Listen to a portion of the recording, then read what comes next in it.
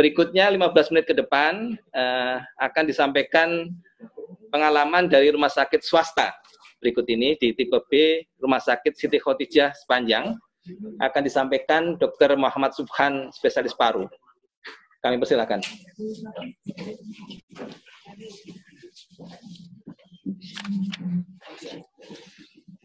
Dari Rumah Sakit Siti Khotijah Sepanjang Sidoarjo, Jawa Timur. Assalamualaikum warahmatullahi wabarakatuh.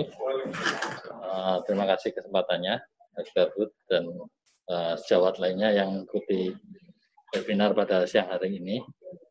Uh, sedikit berbagi, sebelumnya Dr. Abdullah Naji di Sampang, saya kebetulan di perbatasan Surabaya Sidoarjo. Jadi beberapa kasus memang banyak kita temui karena dua kabupaten Sarjo dan kota Surabaya ini sudah sama-sama merahnya. Sehingga kita juga uh, banyak menerima kasus-kasus yang berhubungan terutama cut off point-nya adalah di pneumonia. Ini sedikit uh, apa teori sedikit mungkin tadi sudah dijelaskan oleh Dr. Arif Baktiar maupun Dr. Alfian Nah, ini yang dinamakan PDB itu apa? Berapa memang uh, di sini juga terlihat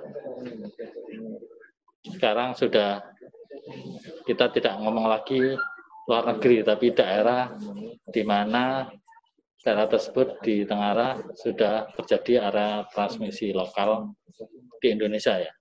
Namanya kayak Surabaya dan Sidoarjo ini sudah termasuk dikatakan transmisi lokal. Cara pengertian memang beberapa adanya infeksi saluran pernafasan akut, walaupun tidak semua pasien yang ada tidak full dengan adanya gejala-gejala saluran pernafasan akut. Tapi adanya panas tinggi itu juga sangat variatif sekali sehingga beberapa kasus dengan komorbid penyakit jantung, penyakit diabetes sangat banyak. Dan ini UDP apa yang dinamakan UDP juga tadi sudah banyak disinggung oleh Dr. Alfian ya. Karena inti dari ini adalah bagaimana kita bisa mewaspadai dan bagaimana kita bisa mengantisipasi jangan sampai terjadi hal-hal yang semakin memberat kondisi pasien. Nah, ini kasus probable sampai kasus confirm jika ternyata hasil PCR-nya adalah positif. Uh, sementara ini di Sidoarjo memang kita mendapatkan bisa apa, mengakses swab PCR ini sekitar 10 harian ya. Ini jadi kita difasilitasi oleh Dinkes Darjo. Jadi di jam-jam tertentu, kurang lebih sebelum jam 12 atau jam 1 itu biasanya kalau memang ada si swab diambil oleh Dinkes dan dikirimkan ke ITD. Jadi di situ kita bisa memanfaatkan eh, bagaimana hasil swab dari pasien-pasien kita yang notabene masuk dalam PDP. Ini ya, kontak erat itu apa.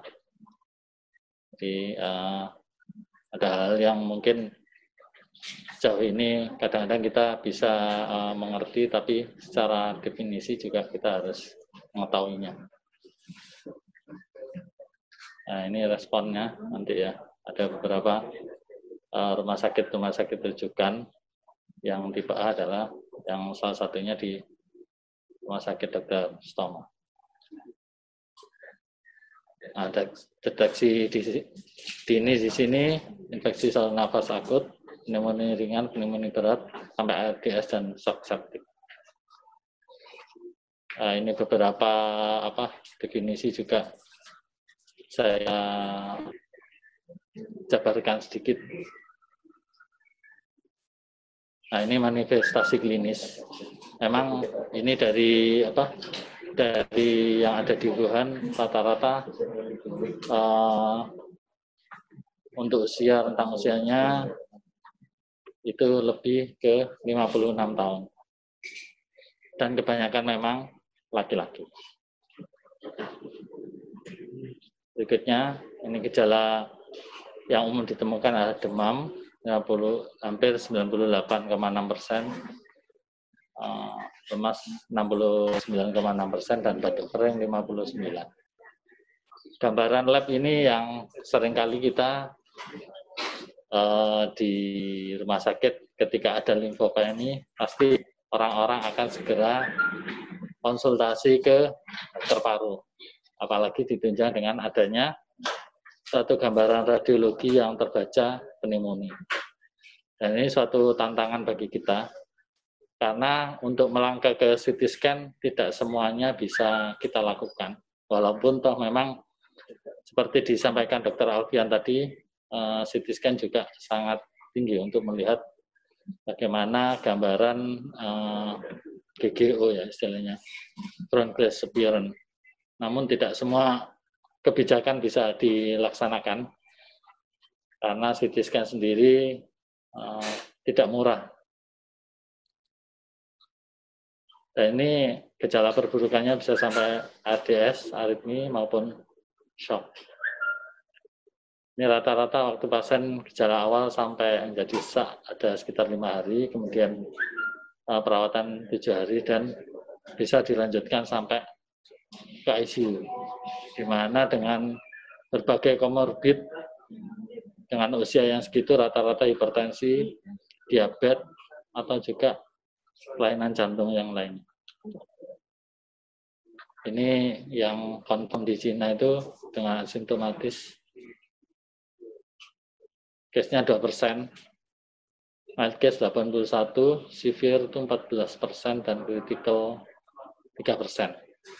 Yang perlu diwaspadai memang pada usia tua, dengan obes, terus dijumpai adanya limfositopeni yang menimbulkan prognosisnya rendah. Ini klinikal manifestasinya sedikit ini ya laboratorium pada beberapa kasus memang perlu CRP bahkan sampai ke prokalsitonin.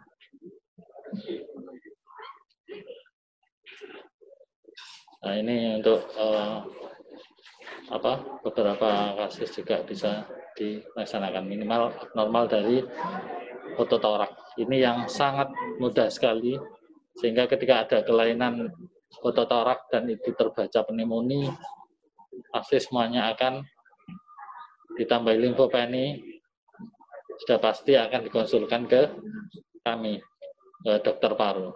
Kurang lima menit, dokter. Oke, jadi salah satu problemnya memang keluhan kasus COVID saat ini sangat bervariasi, tidak hanya keluhan klasik batuk pilek panas, namun keluhan-keluhan lain seperti muntah, mual muntah itu juga perlu dipikirkan.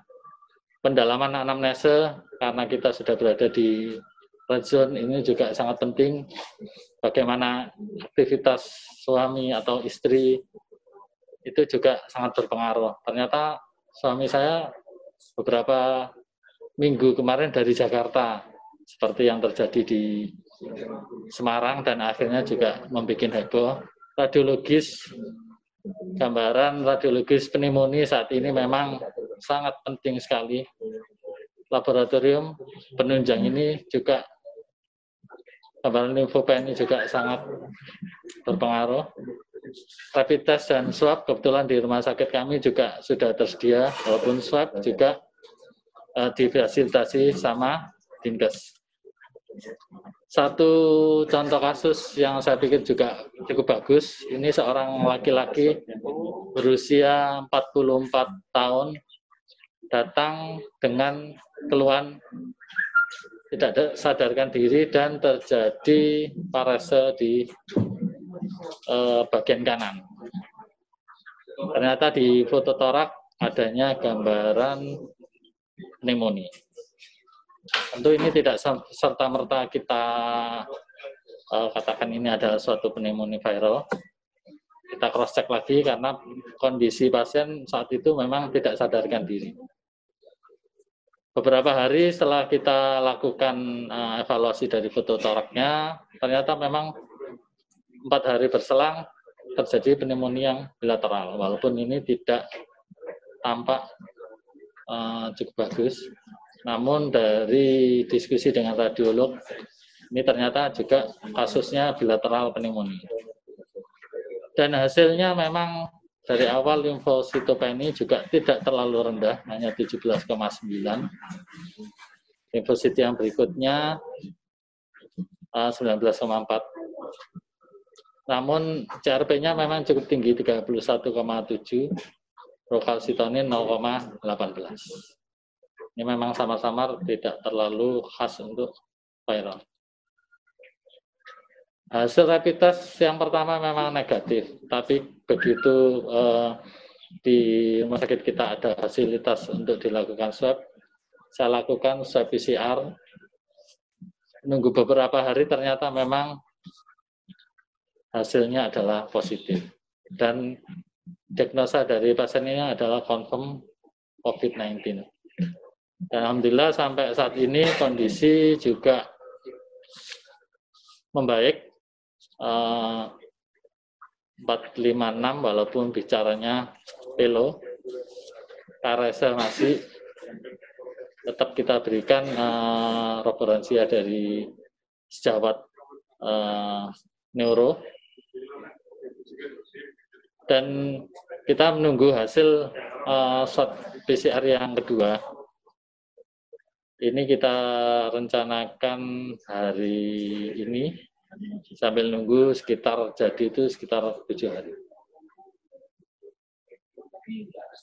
Oke, demikian uh, sedikit uh, informasi dari saya. Ada satu kasus yang mungkin semula kita berpikir hanya sebuah proses uh, eh, CVA, tapi ternyata uh, confirm COVID-19. Terima kasih, Dr. Subhan. Eh, untuk berbagi pengalaman di rumah sakit swasta ya ini di tipe ya. B di eh, sepanjang Khotijah.